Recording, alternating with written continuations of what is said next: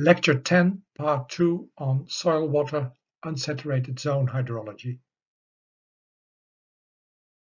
This figure shows the infiltration rate F during a storm with constant rainfall intensity IR. At the beginning, when all rainwater infiltrates, the infiltration rate F simply equals the rainfall intensity IR. The infiltration rate then is smaller than the maximum rate at which rain falling on the soil surface could have infiltrated. This maximum rate is presented by the broken curve. After some time, however, due to the packing of the soil surface by rain, swelling of the soil, breakdown of soil aggregates and or inwashing of fine materials to soil surface openings, the soil surface porosity decreases, which may cause the upper few millimeters of the soil to become water saturated and then for water to start ponding, forming small pools and puddles at the soil surface. After ponding occurs at TP, which stands for time to ponding, the infiltration rate will decline as shown by the decreasing curve in full. The infiltration rate then equals the maximum rate at which rain falling on the soil surface can infiltrate. At sloping land surfaces, the difference between the rainfall intensity in millimeter per hour and the declining infiltration rate after ponding in millimeter per hour runs over the land surface as infiltration excess overland flow, also in millimeter per hour, which is also called Hortonian overland flow after American ecologist and soil scientist Robert E. Horton. In hydrological literature, the maximum rate at which rain falling on the soil surface can infiltrate is referred to as the infiltration capacity. The decreasing broken curve thus shows the decline of the infiltration capacity before ponding starts, when the infiltration rate is equal to the rainfall intensity, and the curve in full shows the observed decline of the infiltration capacity after ponding. The time to ponding is shorter when the rainfall intensity is higher. This figure shows the infiltration rate F and the time to ponding TP for storms with different constant rainfall intensities. Ponding will not occur when the rainfall intensity IR remains below the value of the saturated hydraulic conductivity K of the upper soil. The additional curve shown here, connecting times to ponding for storms with different rainfall intensities, is called an infiltration envelope. The infiltration envelope is an important curve and the time to ponding an important parameter in erosion studies. On a hill slope, ponding leads to overland flow, which in turn causes a further detachment and transport of soil particles downslope. Erosion by overland flow. Some of these soil particles had already been detached earlier by the impact of falling raindrops on the soil surface, a process called splash erosion. After rain ends, restoration of the infiltration capacity begins. Soil pores open by wind action, differential temperatures near the soil surface, shrinkage of the soil and or by earthworms and insects or voles and moles bringing back perforations in the soil. An exception to this can be when crusts have formed at the land surface. Crusts are thin soil surface layers that reduce infiltration. They are more compact and hard, when dry, than the material directly beneath it. They develop in certain soils when a soil surface dries out after rainfall or irrigation. The gradual decline of the ponded infiltration rate with time has also been described by Horton as an exponential decrease that reaches a minimum constant infiltration rate Fc that is equivalent to the saturated hydraulic conductivity. In the empirically derived Horton equation for ponded infiltration shown here, Ft is the infiltration rate at time t in length per time, for instance, millimeter per hour, then Fc is the final infiltration rate in millimeter per hour. F0 is the infiltration rate at time t is 0 in millimeter per hour. E is the base of natural logarithms, thus 2.71, etc. Alpha is a decay constant per hour, and t is time in hour. What the Horton equation for ponded infiltration boils down to is a characteristic of a negative exponential curve e to the power minus alpha t, which is that after every step delta t, t1 minus 0 or t2 minus t1, etc., a new value for ft minus fc is obtained by multiplying the earlier value with a constant factor e to the power minus alpha delta t, that is smaller than 1.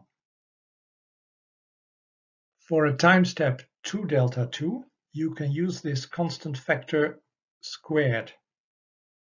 For a time step half a delta t, the square root of this constant factor, etc. The derivations are given here, so you may want to hold this video to take a better look or even better, study the pages 176 to and including 178 of my book. The value of alpha in the Horton equation determines the curvature of the decline of the ponded infiltration rate with time. Alpha has as unit per time, for instance, per hour. The larger alpha, the steeper the decline.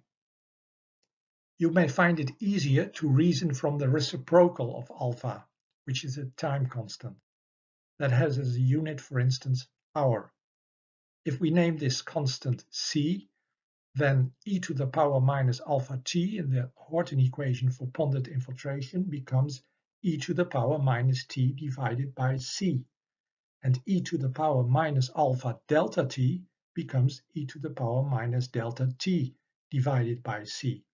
Then, the larger the time constant c, the longer the time it takes, the slower the decline. Australian soil physicist John R. Philip developed a physical approximation, a first analytical solution to the Richards equation of ponded infiltration. His method is especially suited for the first stages of infiltration into a relatively dry soil profile where gravity plays only a minor role. The infiltration rate F is in length per unit of time, for instance, millimeter per minute. Then S is the sorptivity in millimeter per the square root of minute, and K is the saturated hydraulic conductivity in millimeter per minute, the asymptotic end value of the infiltration rate F. The curve that you see is the result of fitting a curve through data from an infiltration experiment. The figure shows an example of the ponded infiltration rate F in millimeter per minute versus the time in minutes. Infiltration is governed by two forces, capillary action and gravity. Pores pull in water by capillary action, and this action, as you know, is more prominent for smaller pores and drier soil. Small pores may even pull in water against the force of gravity, as is evident in the capillary fringe discussed at the beginning of this lecture. Thus, if during an infiltration experiment or at the beginning of a rain event we still have a relatively dry soil and ponded water at the surface, capillary action is very important. The sorptivity S in the Philip equation is a measure of the capacity of a porous medium to absorb or desorb liquid by capillary action.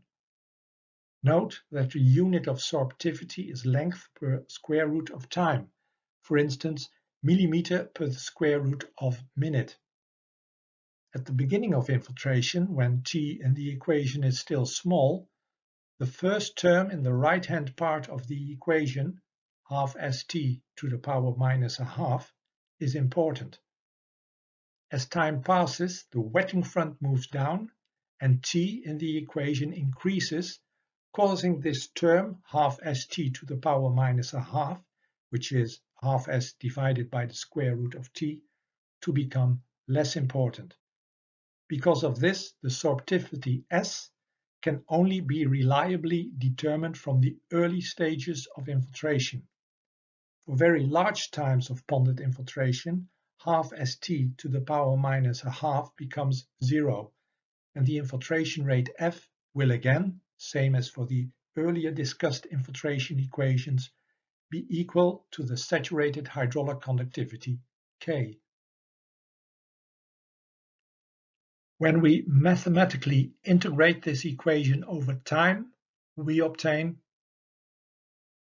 the cumulative infiltration uppercase F in millimeter, which is the total volume of water in cubic millimeter added to the soil by infiltration per square unit of land surface in square millimeter as a function of time. This equation and the figure to the right show an example of the cumulative infiltration uppercase F in millimeter versus time in minutes. The curve is the result of fitting a curve through data from the same infiltration experiment as shown to the left. The saturated hydraulic conductivity K can now be found as the slope of the straight part of the curve to the right, where, because t is large, st to the power and a half becomes much less important than kt, and k can be determined as the slope of the function f equals kt. Both equations can be used to estimate values for the sorptivity S and saturated hydraulic conductivity K. First determine K, either as asymptotic end value from the left figure, or from the right figure as the slope of a straight part of the cumulative infiltration curve during the later stages of infiltration. After having estimated a value for K, simply look up the ponded infiltration rate lowercase f or the cumulative infiltration uppercase F at t is one minute from these figures. Inserting t is one minute in the equation gives these equations. As we already know lowercase or uppercase f at t is one minute, we can calculate a value for the sorptivity S from either one of these equations. This sheet is specifically for the GEO4 4417 unsaturated zone hydrology students. In reality, the saturated hydraulic conductivity will be larger than the calculated value from an infiltration experiment using either a double ring infiltrometer or a rainfall simulator. This is because of the hampering effect that enclosed air during the infiltration experiment has on the final infiltration rate. Because of this, as a rather crude rule of thumb, the saturated hydraulic conductivity is often taken as one and a half times the calculated value from an infiltration experiment.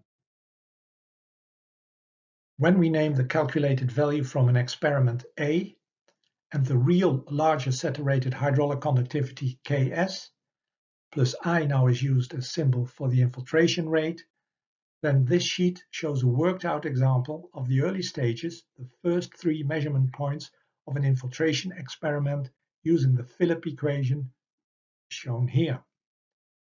What the method boils down to is that you linearize the Philip equation by plotting values of the infiltration rate along the vertical axis against 1 divided by the square root of time along the horizontal axis. By the way, the time sequence of the measurement points then is from right to left, the right data point being the first measurement and the left data point being the third measurement. Importantly, by plotting your time versus infiltration rate data this way, half the sorptivity S can be found as the slope of the line connecting these measurement points in this graph. And A is the intercept of that line with the vertical axis in this graph. GEO4 4417 students, you may want to hold this video and study this at ease. For all students, GO24203 and GO44417, yet another way to estimate the sorptivity S is from a horizontal infiltration experiment on a long soil core sample in the laboratory as shown in this figure. Because the horizontal water flow in such an experiment is mainly controlled by capillary action, the Philip equation for cumulative infiltration reduces to F equals the sorptivity times the square root of t, the first term of the Philip equation. At time t, at the end of the experiment, the distance from the water inlet to the wetting front L is measured and the cumulative infiltration determined from F equals L times the pore space that was available for horizontal infiltration, which is the volumetric moisture content at saturation, theta S, minus the initial volumetric moisture content, theta I. As t, the time the experiment ended, and f are known, s can simply be estimated from f equals s times the square root of t. In practice, sorptivity values are determined by both the wetness of the soil and the soil texture. Sorptivity values measured in the field may therefore show a large variation in time and over short distances. When the infiltration capacity exceeds the rainfall intensity, as for instance in well-vegetated areas, the infiltration rate equals the rainfall intensity and there will be no ponding of water at the soil surface. This figure shows an example of a potential diagram for non-ponding infiltration, thus without water saturation in the upper soil profile and with water pressures, the matrix potentials in the profile remaining negative. The follow-up process of infiltration is percolation, and in order for water to percolate to the groundwater, the moisture content in the upper soil must be above field capacity. Remember, field capacity is moisture content where there is still some air in the pore space. This is clearly different from ponded infiltration, which causes water saturation and positive water pressures near the soil surface, as observed earlier. When rainfall ceases, the zone wetted by infiltration continues to move downward whilst the upper soil already starts to dry by evaporation. This figure shows an example of a potential diagram where soil moisture moves downward by percolation below minus 20 centimeter and upward by evaporation above minus 20 centimeter depth. In our example, Moisture thus moves both down and upward from minus 20 centimeter, causing a no-flow situation at exactly minus 20 centimeter. If we take this figure as representative for a surrounding flat soil, the no-flow situation holds for a horizontal plane at minus 20 centimeter depth. Such a horizontal plane with no flow or zero flux is called a zero flux plane. More specifically, a divergent zero flux plane as moisture moves away from it. In temperate climates, a divergent zero flux plane typically starts to develop in spring when evaporation starts to exceed rainfall. This figure with soil depth along the vertical axis and the months of the year along the horizontal axis shows the divergent zero flux plane to move downward as the soil dries out further in spring and summer. In autumn, when rainfall starts to exceed evaporation, the surface layers become wetter and a convergent zero flux plane develops. This convergent zero flux plane moves down rapidly to meet up with the earlier divergent zero flux plane. When they meet, both zero flux planes disappear as the overall moisture flow in the wetted soil profile has become downward, which is the typical drainage situation for winter. This situation lasts till spring, when evaporation starts to exceed rainfall again. Soils consist of a sequence of layers or soil horizons, in Dutch bodemhorizonten, which are layers caused by natural soil forming processes. Soil layering has a pronounced effect on the movement of water through the soil profile, especially when soil horizons differ markedly in hydraulic conductivity and dominant pore sizes. Percolation from a fine textured layer overlying a coarse textured layer leads to stagnation in the percolation process as is evident from this figure where the volumetric moisture content and matrix potential are given along the horizontal axis and the soil depth along the vertical axis. The numbers given in the graphs are time in hours. This apparently surprising effect is caused by the fact that the smaller pores in the fine textured upper layer hold on to the soil moisture with greater suction power.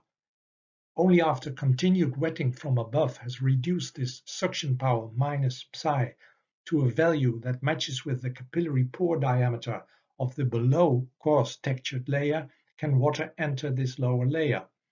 This reduced suction by wetting is visible in this figure as a less negative matrix potential psi when water enters this lower layer. Further note that there is a discontinuity in moisture content between both layers see the left figure, but that the matrix potential or pressure head, see the right figure, is continuous, as it physically should be. Percolation through a fine textured layer that overlies a coarse textured layer may give rise to the development of wet finger-shaped areas in the coarse textured layer. For instance, because the capillary pore diameter of the below coarse textured layer in reality is not constant but differs from place to place, or simply because the layers are not fully homogeneous. This type of flow is called fingered flow and is a type of preferential flow. Fingered flow may be defined as unstable flow that results from a higher resistance to water flow at certain locations in a soil. During infiltration and or percolation, the wetting front may stagnate at certain locations, for instance at the transition from a fine textured layer to a coarse textured layer, as illustrated here. Continued wetting at these locations causes the matrix suction to decrease, the matrix potential to become less negative, or in simpler terms, causes the water pressure at these locations to increase. When a threshold water pressure value is exceeded, the water flow at that location is resumed. However, at locations where the threshold water pressure is not exceeded, water flow continues to stagnate. Because of this, wet finger-shaped areas begin to form at locations where the water flow is resumed. This photo shows a soil pit profile in the Parapuños experimental catchment in Extremadura, Spain, where a coloring dye has been added to the infiltrating water. Infiltration in the top of the profile is shown to be homogeneous, but at some 10 cm depth, a large finger has developed. In our soil water lectures, we have mainly regarded matrix flow water flow through the soil matrix where the Richards equation applies.